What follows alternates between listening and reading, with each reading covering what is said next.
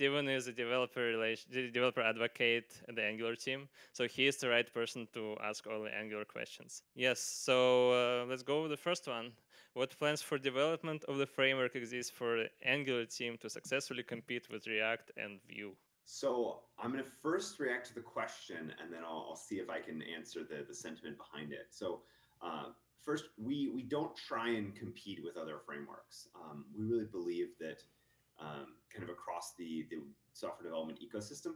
There are a lot of different choices in the ecos uh, like in the ecosystem. A lot of them are open source, uh, and in general, this is really good for developers. It means that we're going to have more ideas coming into the, the fold. There's going to be more ways of doing things. Uh, some people have preferences about whether they like more functional programming, more object-oriented programming. There's all sorts of kind of preferences and ideas that developers have. Um, and so we, we really try not to compete with, with other frameworks. Um, I mean, we want good things for them. We want good things for ourselves.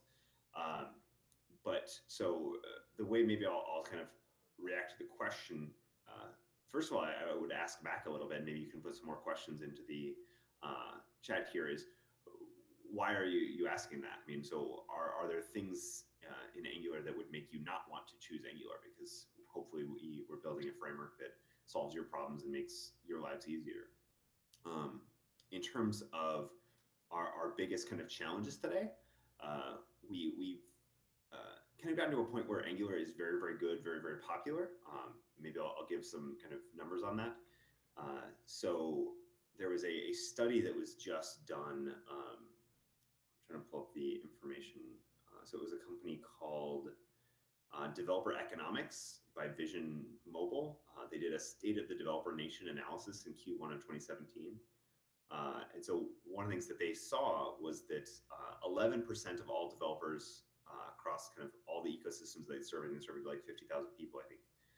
11% uh, used AngularJS, 10% used Angular. the next highest was 9% for any sort of framework or library. So from those numbers, from the way that they were querying, we're actually doing very well. Um, so we've only been around uh, for about a year. So it was September 14th, 2016, when we finally hit 2.0.0 um, of Angular.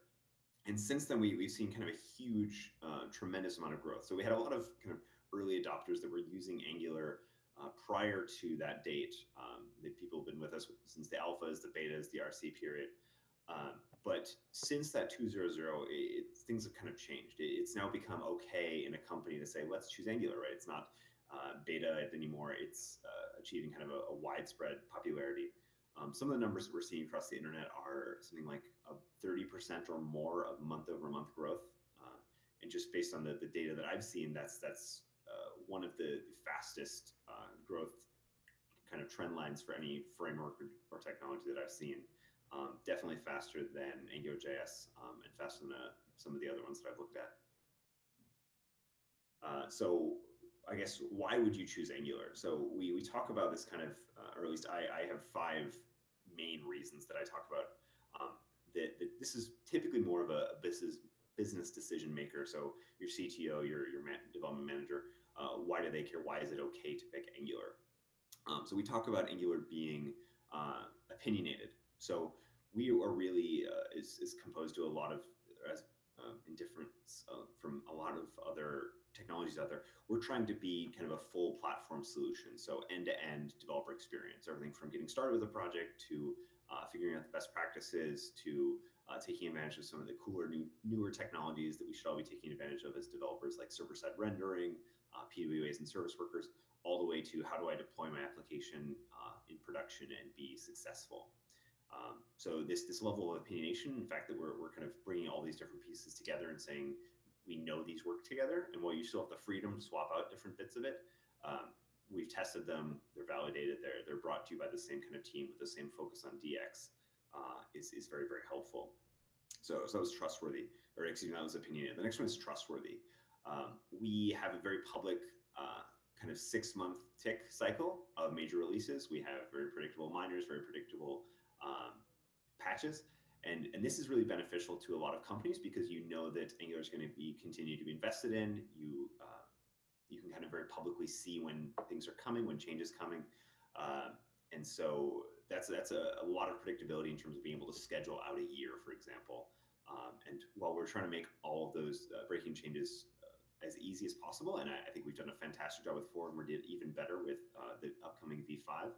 Um, this is something that we want to hear your your feedback on. But we, we do feel like uh, because we're we're kind of making this longer term plan and making that public, uh, we, we have a huge amount of trustworthiness. Um, we also talk about Angular being um, scaled. So there, there's a couple of different ways. So obviously, Angular is really good for solving Google scale problems. So there's I think more than 300 projects at this point within Google uh, that are using Angular.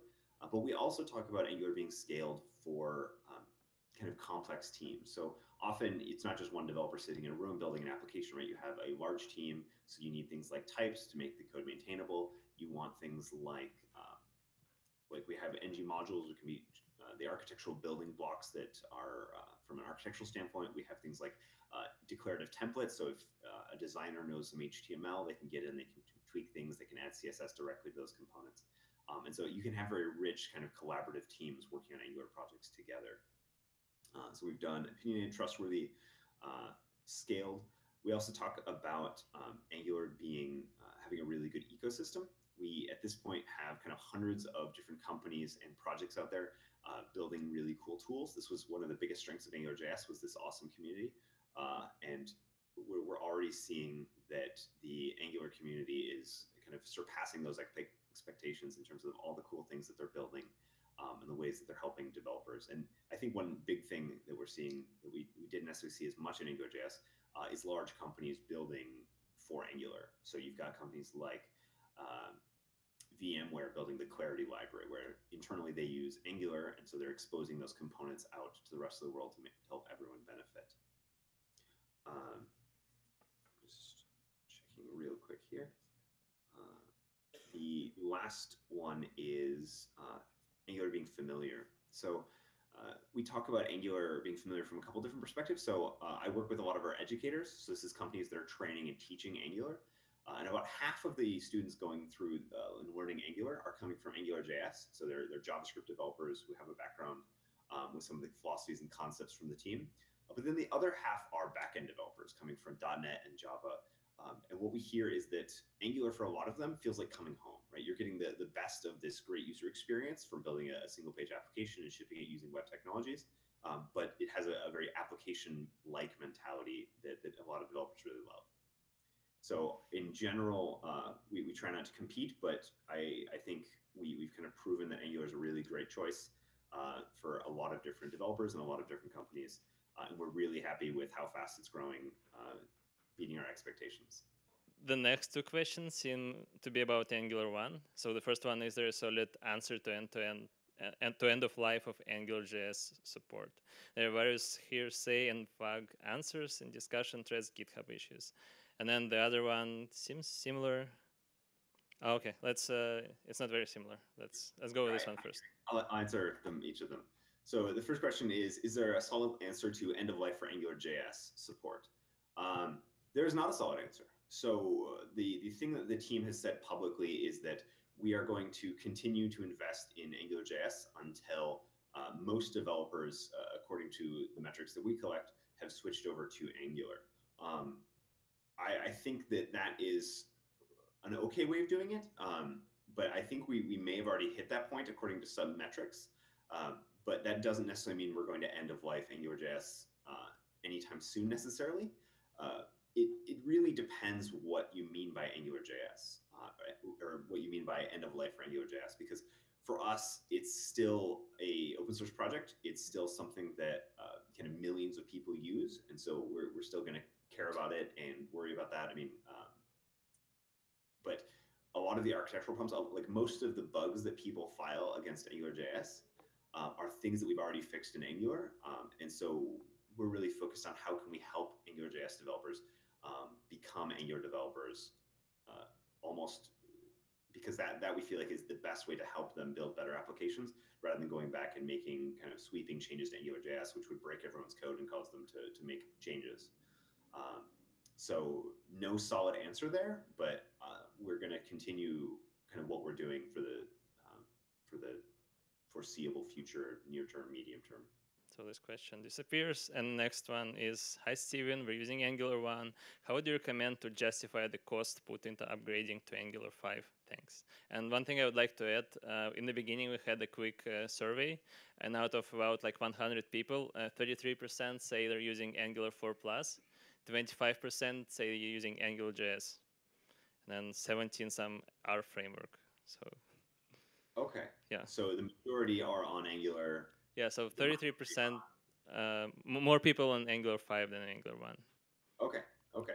Uh, and I'll, I'll, even correct you, Carol. So we, we use two terms uh, very intentionally. Uh, we use AngularJS for the, the 1x uh, older version, uh, and then we use Angular for 2, 3, 4, 5, 7, 19, 42, and so on. And the, the reason we do that is we, we looked back at kind of where we'd come from. So a lot of people had written books. there were kind of thousands of blog articles, posts, content, tutorials um, about AngularJS. Um, and then for about two years, we, we used this term uh, Angular 2. But then what we realized was uh, the community kind of needed a better indicator of stability and reliability. Um, and so we announced that we were switching to semantic versioning. And so that meant that that major version was going to continue changing uh, about every six months.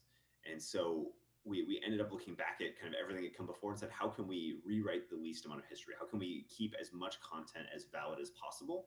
Um, and so we came up with this uh, strategy that I, I, think most people have, have adopted to, uh, which is calling the new thing Angular, dropping the, the version number whenever possible because it doesn't really matter, uh, and then calling the old thing AngularJS.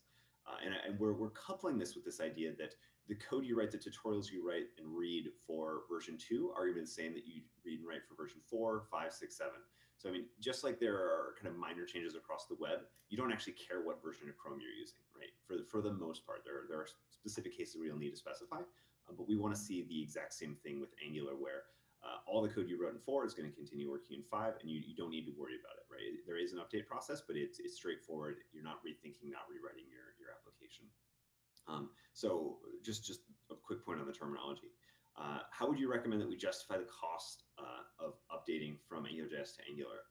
Um, I would really look at the goals of your application. So it, it, the answer is kind of it always depends. But for a lot of people, the complexity of maintaining an AngularJS application is much higher because a part of the reason that we rewrote uh, AngularJS as a team was that we, we had millions of developers building AngularJS applications. We had hundreds of thousands of applications across the web, um, and the cracks started showing. And they, they were showing in ways that we couldn't fix with kind of a, a minor incremental update.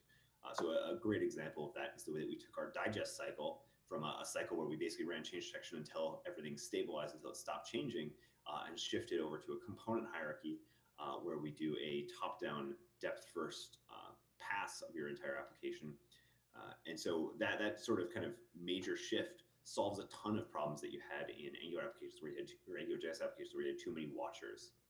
Um, and so it really goes back to what you're trying to get out of your application. Um, but for a lot of companies, they just leave their existing code in AngularJS or existing projects in AngularJS and they start new projects in Angular. Um, within Google, for example, we have large, uh, large projects that were written in AngularJS that we're slowly updating to Angular um, using ng upgrade. Uh, an example of that would be Google Cloud Platform. So the management interfaces are historically AngularJS, um, and now they're becoming Angular. Uh, and so for us, it was worth it to do the shift um, because of the uh, both easier to maintain ongoing. So the, the code that you write in Angular is cleaner, it's, it's type safe, things like that. Uh, it's going to get new features and new capabilities. So the, the web is continuing to evolve we're seeing things like, sorry about this.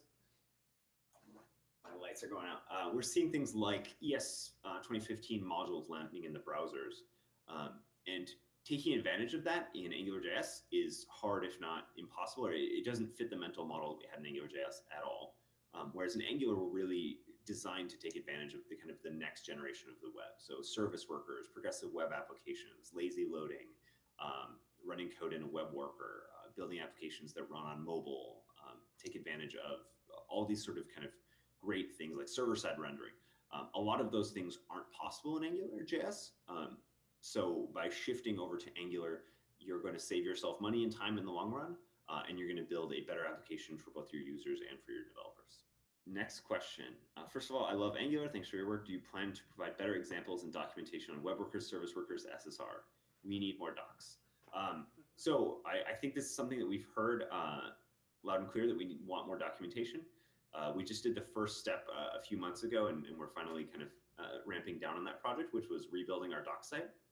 Um, so now all of the documentation for Angular is actually in the Angular repo. If you wanted to uh, contribute, it's all open source and it's all there on a self-hosting Angular application. Um, when with regard to things like uh, server-side rendering, there's awesome projects uh, like the one David East is doing. So he actually just filmed a video and wrote a couple blog posts about how you can take an Angular application, um, use Universal to render it out by the CLI, uh, and then upload that to Firebase and host that on Firebase Functions. So um, David East and his work that he's doing uh, was fantastic, as well as the CLI team as part of launching Universal Support. Uh, they documented how to do those sorts of things. Um, so, kind of th- this new policy as of a few months ago is that any new feature that ships has to have documentation, or we don't ship it. Uh, so you saw that with server-side rendering in CLI. You saw that with the new HTTP client. Um, you're going to be seeing that with service workers when they land. Uh, so these are, are kind of very good examples, um, but we understand that we have not done the best job in the past, and we, we want to continue to improve. Um, but collaboration and contributions always welcome. Uh, we can just do the when Angular CLI with customizable Webpack config release. Actually, I would like to upvote this one too. All right. So when will the Angular CLI uh, support customizable Webpack? Um, so we want to make the Angular CLI customizable to solve any problems that developers have. Uh, let us know what those problems are. Let us know what you can't do today in the CLI. Um, but in general, we, we don't yet want to go down the path of having a Webpack config. Uh, if you need that, just do ng eject and you'll get out a complete custom Webpack config as it is today. Um, and the reason we don't want to give you a Webpack config uh, is because the state of module loading is going to significantly and fundamentally change over the next 12 to 24 months. We, we have ES5 modules in some browsers, we don't have them in others. Um, but the way that they implement uh, the bundling process is very different, right? So, for example, path resolution when it's happening at the Webpack level is different than what happens in the browser. And so, uh, everyone that has import statements that wants to take advantage of newer uh, kind of ES5 module based or ES 2015 module based uh, deployments to the server is going to have to go rewrite all their Webpack configurations. But the, the nice thing about not having exposed those developers is that if you're using the CLI, we can do those sorts of updates for you uh, behind the scenes automatically um, without you having to even worry about it. And so this is kind of this idea that Angular wants to build bridges into new kind of uh, technologies for building software without you having to learn anything. Um, and so that, that's an example. Uh, another example is this idea that uh, the Angular team wants uh, JavaScript compilation to not happen as a single unit. So Webpack thinks, let me go get everything in my dependency tree and then compile it all or bundle it all and then split out and uh, send out chunks to the, the file system. But for example, within Google, how we build Angular applications is we can actually build every ng module on its own. So if you have a large application with, I don't know, let's say a 4,000 components or uh, 10 or 30 different kind of modules that are lazy loaded from different teams in your company, you want to be able to compile each of those individually and then do kind of more of an application release of all those different pieces. Um, that's not something Webpack can do. We're talking about uh, if there's ways that we can help them do that. Um, but there, there is another technology called Bazel that can do this, and that's what we actually use uh, internally at Google. And so, uh, for example, the CLI might, for uh, at some point, offer to build applications using Bazel instead, so that you get faster rebuild times, uh, incremental rebuild times, so we don't have to recompile modules that are already compiled. Um, Bazel today has its own challenges. It can't do things like lazy loading. Um, but we want to keep the CLI as much of a black box as we can so that we, we're not forcing everyone to go and update their configurations every time we want to take advantage of a, a new capability or uh, help developers do kind of cool new things. Uh, but that being said, we do want to make the CLI configurable. So definitely reach out to me um, on Twitter or, or, however you want. Um, to let us know what you want to customize in the CLI, uh, and we'll, we'll see if we can add that those as flags or options. The next question is about TypeScript decorators and what happens like once decorators are in the browser. Sure. Um, it's, it's, an, uh, it's an argument some use against Angular. Uh, I don't know why that would be an argument against Angular.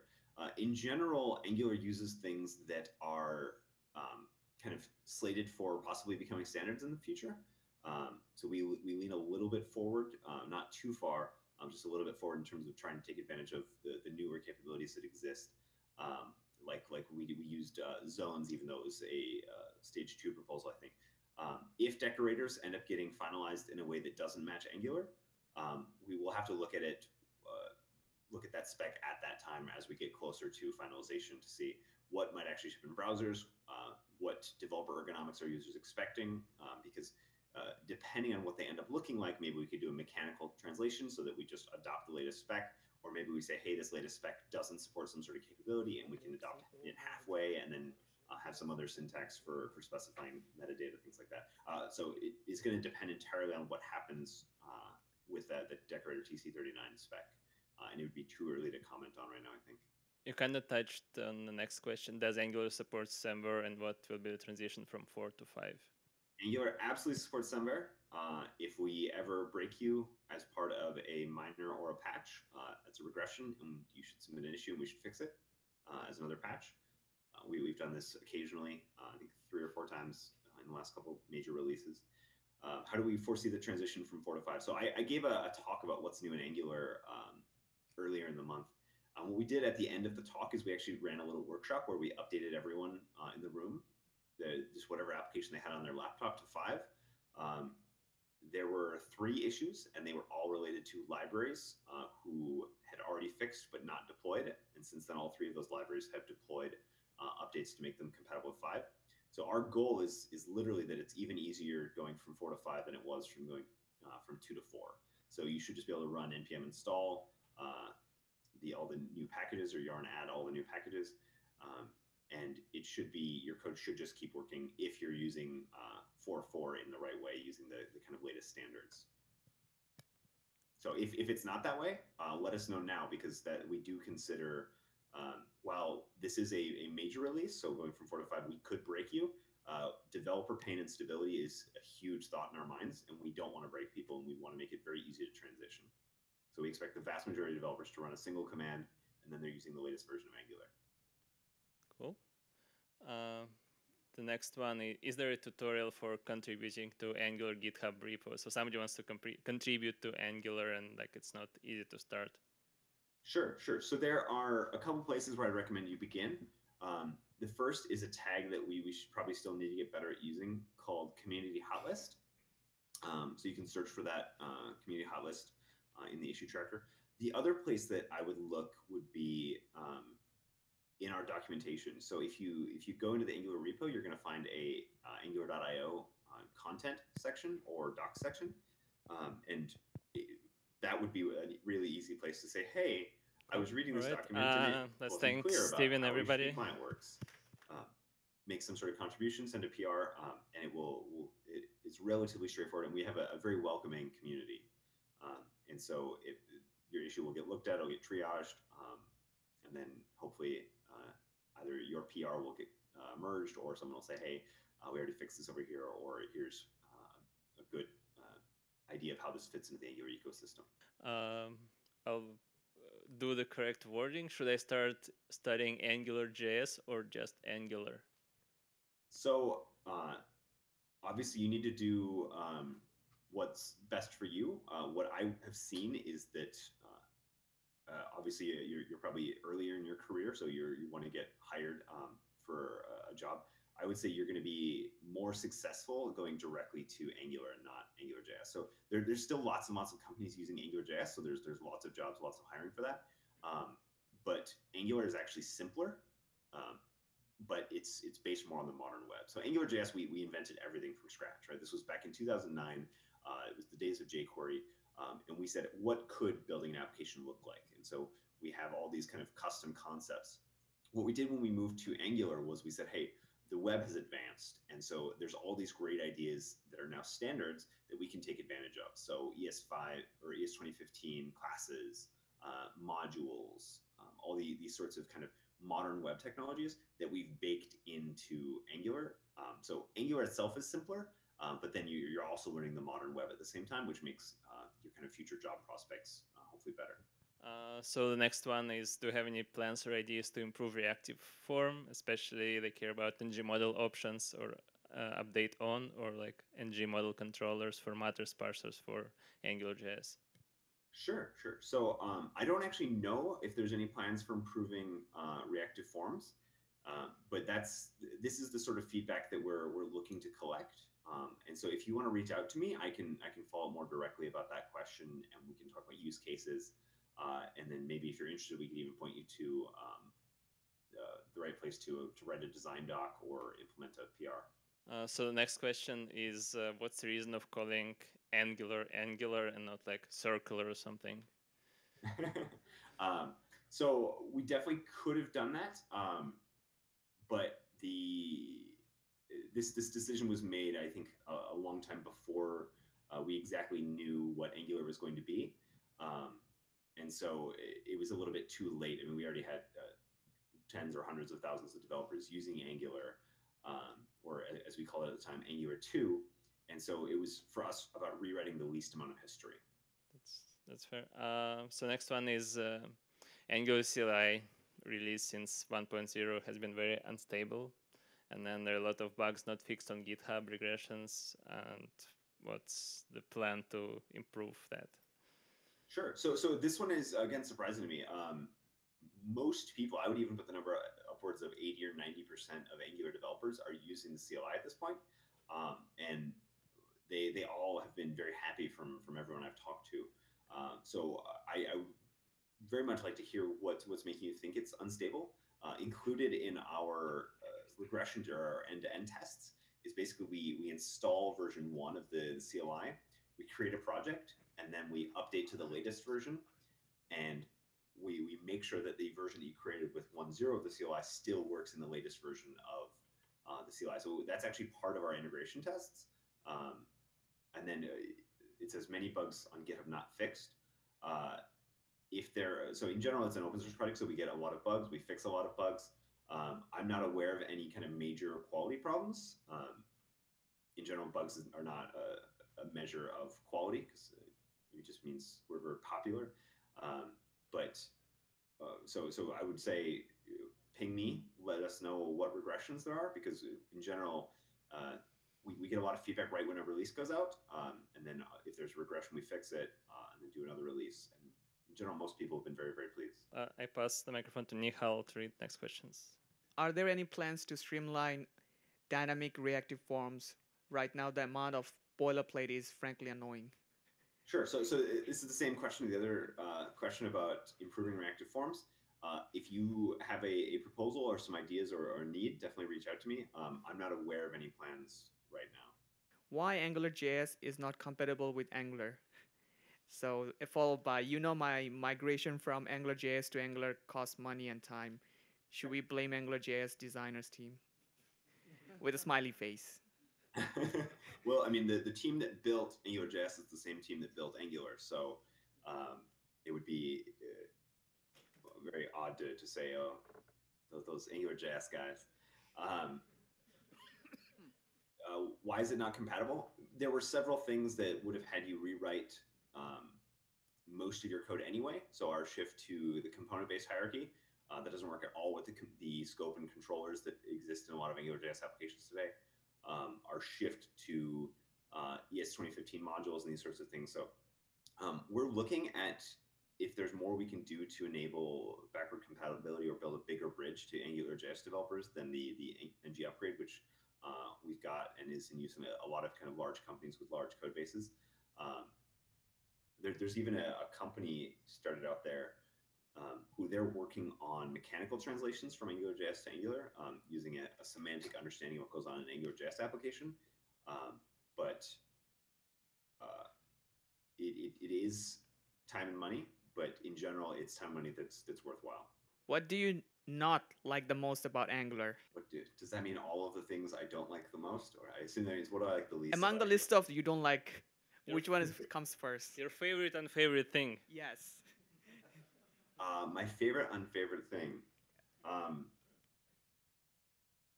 hmm. There are that many.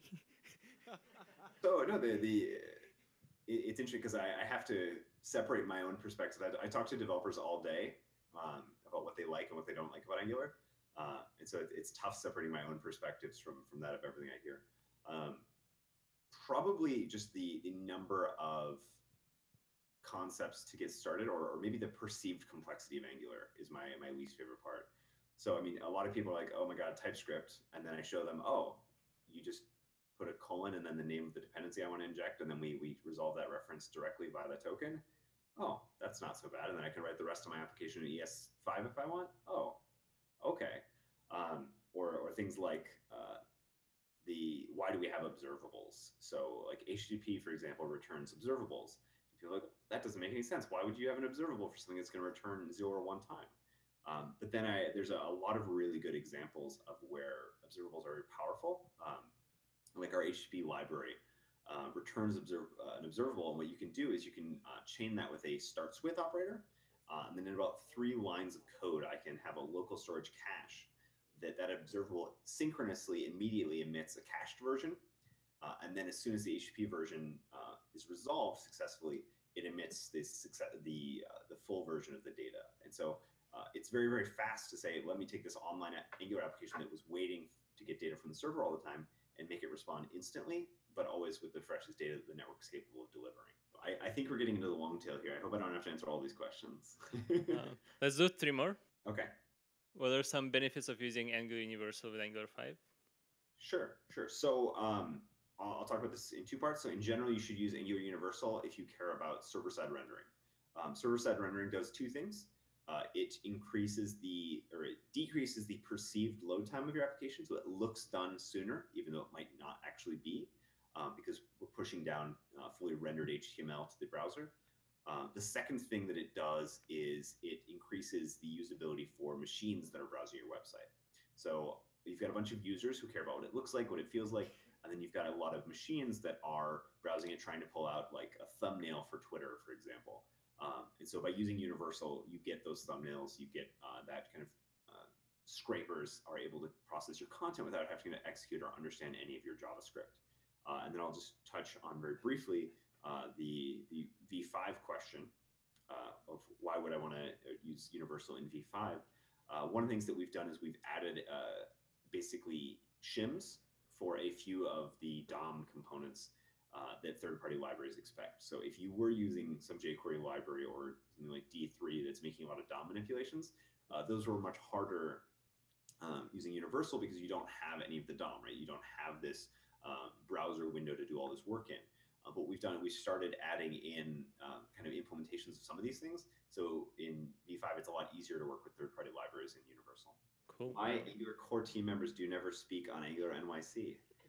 I, have spoken twice in Angular NYC in the last six months. Um, but why don't we come out to New York City? Uh, I think it's just been uh, timing. Maybe I'll blame Carol for this one because I've been to New York once. I'll probably be in New York next uh, again in the next four or five months. So we should definitely do it. Sounds good. And then, I, okay. I love Carol's logo, by the way, Angular NYC. I cannot wait to put one of those on my laptop. Oh, so you guys yeah. have an awesome community. That's, this is a secret, but okay, now everybody knows stickers with Angular NYC logo are coming soon. So hopefully next meetup. Uh, any plan? Okay, this is the last question. Any plan on of React nano, nano degree like video course for Angular? So I'm not familiar with React Nano degree, um, but I'm familiar with the Android Nano degree. Um, I I think we're planning to put together a bunch more video content in Q4.